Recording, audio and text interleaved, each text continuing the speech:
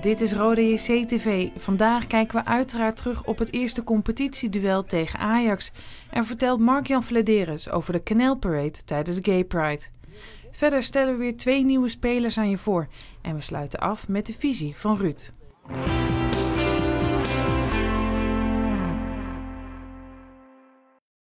De kop is eraf voor Rode JC Kerkrade. Vrijdagavond openen de Limburgers samen met Ajax een nieuw seizoen in de eredivisie. De eerste wedstrijd werd overtuigend gewonnen door de landskampioen. In de arena werd het 3-0. Toch was men na afloop bij Roda niet geheel ontevreden. Op zich ook wel een goed gevoel. Uh, ik denk dat we goed uh, toch uh, gevoetbald hebben. We hebben ook kansen daar gekregen die we helaas niet afmaken. Ja, ik denk dat Ajax, ja, de kansen die Ajax eigenlijk, doelpunten van Ajax zijn eigenlijk invullen fouten van ons. Dus ik denk op zich Ajax ook niet zo heel veel gecreëerd. De voetballen is natuurlijk een hele goede ploeg. Maar ja, ik denk dat we ja, wel goede stap hebben gezet. En uh, de volgende wedstrijd gewoon uh, met ons goed voetballen nog wat verbeteren en dan uh, moet het goed komen. Van Pep een goed balletje op Nemet. Nemet. Snel krijg je een hele grote kans met Nemet. Als je dan tegen Ajax speelt, dan moet hij er meteen in zitten, denk ik. Ja, natuurlijk. Je krijgt niet zo heel veel kansen. En ja, de kansen die, de, die krijgt tegen Ajax moeten allemaal altijd in. ja, en ja, dat is jammer dat dat niet gebeurt. Kortom met een rare redding en een rare goal ook. Maar het telt wel. Van Rijn, 1-0. Ze komen dan zelf heel snel op voorsprong via Van Rijn. Um, dan wordt het een moeilijk verhaal voor jullie. Ja, daarna komen ze ook nog op 2-0 door een individuele fout. Maar ik denk dat we nog in de tweede helft toch nog wel uh, wat kansjes hadden gekregen met die penalty. En de kans van mezelf om uh, terug te komen. Maar uh, ja, dat is ook niet gelukt. Maar als je daar nog de 2 in kon maken, dan denk ik dat Ajax ook nog ja, een beetje achteruit ging en toch een beetje geschrokken was. En wij kregen dan weer extra moed om toch door te gaan. Dat doet hij heel goed. De mogelijkheid voor Hupperts. Ja, je krijgt altijd een kans in elke wedstrijd. Roda had dat voor rust al. Blind trekt daar inderdaad aan het shirt van Nemet. En dat is gezien door Makkeli. Brengt Pluim de spanning terug in de wedstrijd. Nee, hij mist. Hij mist. Weer geen rake strafschop dus tegen Kenneth Vermeer. Jullie speelden met een sterk gerenoveerd team. Jij hebt natuurlijk vorig jaar ook uh, uh, in het team gespeeld. Hoe anders was het dit keer voor jou? Nou, ik denk dat we ja, vorig jaar bij Ajax uit hadden we natuurlijk alleen maar verdedigd. En nu konden we ook een beetje voetballen tegen Ajax. Dus dat, ja, dat is ook een verbetering natuurlijk. Ook al je dan een punt en nu ja, nul punten dan. Maar ja, ik denk dat we nu voetballend wel ook tegen Ajax soms eruit konden voetballen. En ja, als we dat tegen Ajax kunnen, dan kunnen we tegen andere ploegen zeker.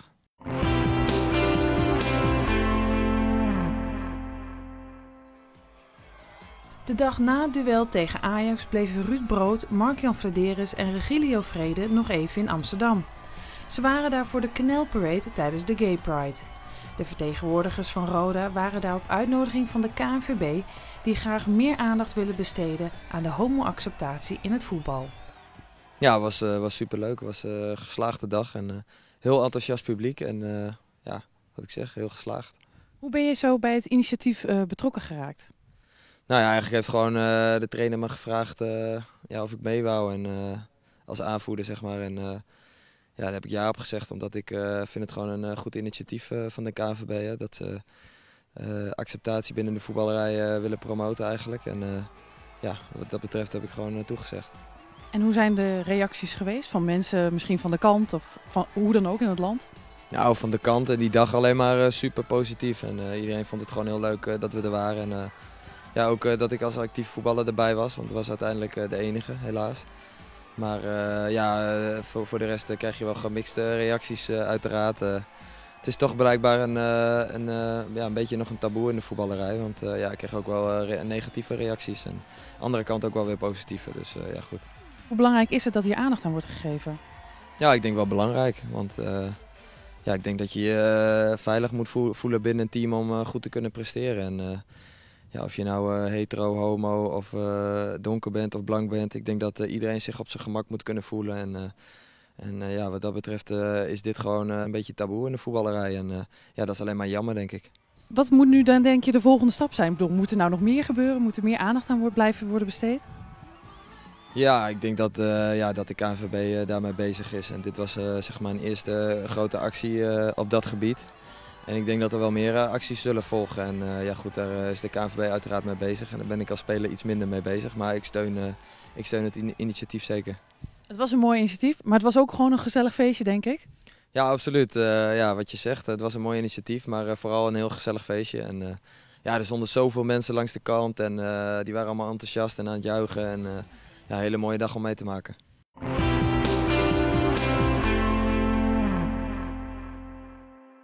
In de eerste uitzendingen van Rode JC TV van dit seizoen stellen we de nieuwe spelers in de selectie aan je voor. Vandaag gaan we verder met de verdedigers Guy Ramos en Art van Peppe.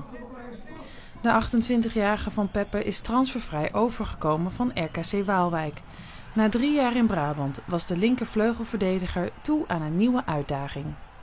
Nou, ik wilde bij voorkeur een Nederlandse, een Nederlandse stap maken. Gewoon uh, in Nederland kunnen blijven. Gewoon vanwege het leven wat ik dan kan, uh, kan leiden. En uh, daarbij kwam Rode uiteindelijk op mijn pad. Wel vroeg al op mijn pad gekomen. Ook natuurlijk mede doordat ik de trainer al kende.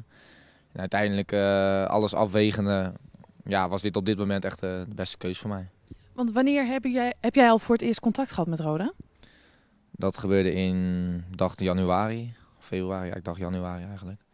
En uh, toen heb ik hier een gesprek gehad, althans bij het stadion. En later zijn ze nog een keer bij mij langsgekomen. Alleen toen hebben we beslist om uh, het gesprek uh, na de, tot, ja, uiteindelijk na de play-offs uit te stellen. Dat wisten we toen nog niet dat het zo zou lopen. Maar gewoon uit het feit dat het zo dubieus was allemaal om met Roda te praten, enigszins. Hoe belangrijk is het voor jou geweest dat Ruud Brood hier zit? Omdat je hem natuurlijk kent uit jouw periode bij RKC. Nou ja, in zoverre is het belangrijk dat je dan weet uh, wat je te wachten staat. Kijk, dat hoeft dan niet per se, want uh, juist het avontuur uh, trok me wel aan. En uiteindelijk is dit ook voor mij nu een, ja, een avontuur, iets serieuzer dan dat. Maar het is natuurlijk wel verhuizen en in een andere omgeving je weg vinden. Maar wat dat betreft een beetje vertrouwd terrein is altijd fijn. En hoe is die andere omgeving? Heb je het naar je zin hier? Nou, ik heb het heel erg naar mijn zin. Het bevalt me heel goed. Het leven in Limburg is echt, is echt top. Ik woon in een stad uh, wat begrondings bekend staat. Ik zal niet zeggen waar het is. En uh, dat bevalt heel goed. Dus, uh, en die gasten allemaal zijn top. Dus heel erg naar mijn zin. Hebben jullie een goede spelersgroep, heb je het idee? Ja, we hebben goede jongens. ik merk wel dat, dat de jongens bij zijn die echt graag willen en ook gewoon dominant zijn in, in een wedstrijd. En dat is wel belangrijk, want dan kan je een wedstrijd echt naar je hand zetten. En als dat allemaal eh, goed samenwerkt, want als je dan meerdere dominante mannen hebt, dan moet die natuurlijk wel enigszins uh, goed uh, gaan. Maar dat gaat er nu heel goed en ik voorzie ook niet echt daar problemen in. En ik denk dat we daaruit wel echt veel wedstrijden hopelijk spelen die, zoals wij dat graag willen.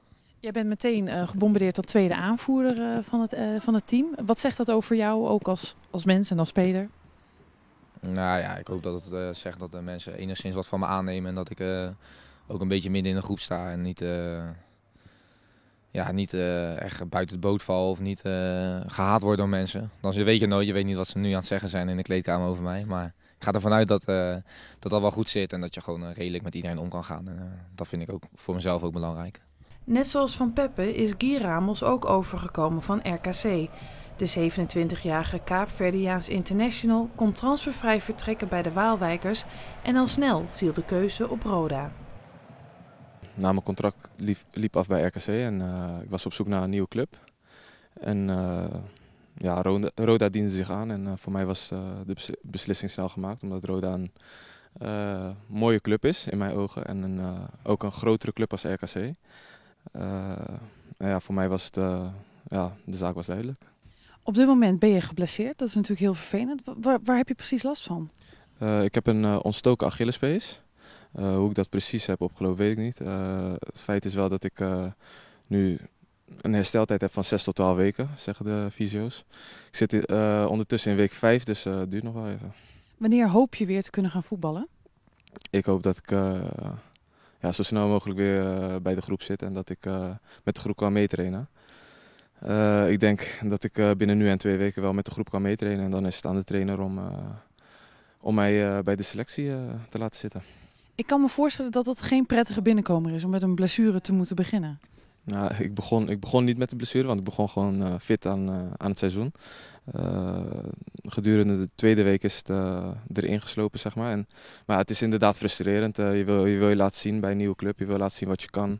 En laten zien dat je, dat je een toegevoegde waarde bent voor de selectie. En dat wordt je nu ontnomen, ontnomen door een blessure en dat is vrij frustrerend. Waarom ben jij een toegevoegde waarde voor de selectie? ik, kan een, ik kan een team coachend wel goed neerzetten. Ik heb een gezonde portie agressiviteit, denk ik. En ik kan jongens daarmee op sleeptouw nemen. En ik denk dat dat dit team wel ten goede zal komen. ondanks de blessure, hoe is de overgang naar Roda en naar Limburg bevallen? Ja, wel goed. Ik denk dat Limburg een beetje hetzelfde, of ja, niet hetzelfde, maar bijna hetzelfde is als Brabant. Zijn uh, gemoedelijke mensen, mensen die willen helpen. En uh, ja, ik voel me de, thuis nu en, en dat is redelijk snel gaan, dus ik ben blij.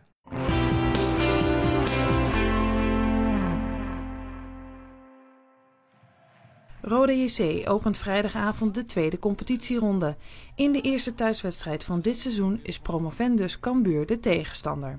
In het verleden ontmoetten de twee ploegen elkaar slechts vier keer en Roda heeft nog nooit verloren. De eerste speelronde zit erop voor Roda. Na een zware openingswedstrijd tegen Ajax heeft Ruud Brood kunnen zien waar zijn ploeg op dit moment staat. Nou, ik moet wel zeggen eh, dat je ook wel uh, goede zaken hebt kunnen zien tegen Ajax. Uh, dat we de goals uh, eigenlijk onnodig hebben weggegeven. dat is jammer, want Ajax heeft natuurlijk wel kansen gehad, maar Uiteindelijk niet zoveel de eerste helft. En dan is jammer dat je achterkomt door een spellenvatting. Maar dat we ook uh, hebben laten zien, uh, tweede helft met name, dat we voetballend uh, goed onder een bepaalde druk uit kunnen komen. En ook kansen kunnen creëren, zoals tegen Ajax. En dan moet je eigenlijk zorgen dat je ook weer terug in de wedstrijd komt. Maar dat is niet gebeurd. Cambuur is een van de twee nieuwkomers dit seizoen. De Friese werden vorig seizoen de verrassende kampioen van de Jupiler League. De ploeg staat nu onder leiding van Dwight Lodewegers en in hun eerste wedstrijd op zondag pakte Cambuur gelijk een punt.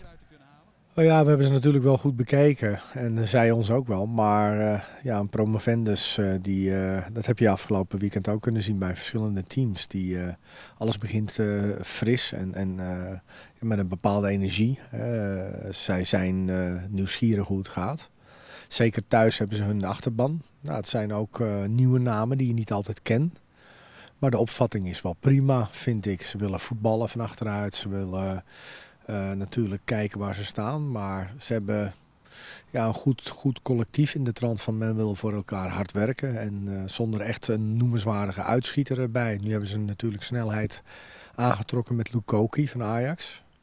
Maar wat ik al zei, het is een uh, behoorlijk collectief. Is het moeilijk voetballen tegen zo'n ploeg? Omdat zij in feite ook alleen maar kunnen winnen, hè?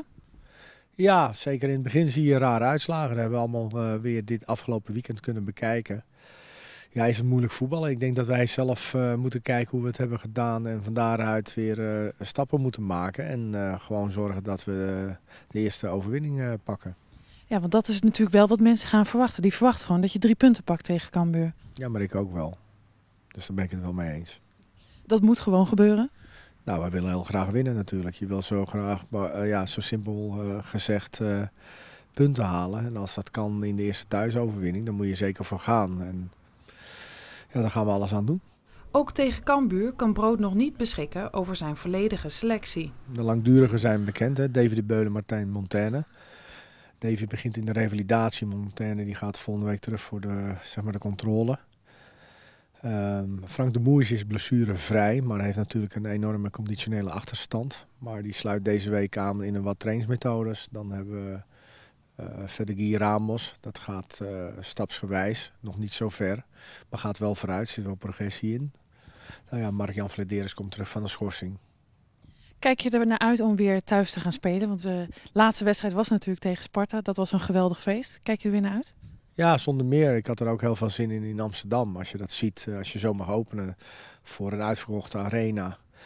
Nou ja, dan hoor je ook de positieve dingen. Maar ook uh, zaken waarvan je zegt van oké, we hebben een uh, heel wat nieuwe jongens. Dan moet je ook gaan inpassen. Maar ik kijk er zeker naar uit. Want ja, dat, is, dat had ik al met de wedstrijd tegen KV Mechelen. Dat je in het stadion staat, een wedstrijd speelt.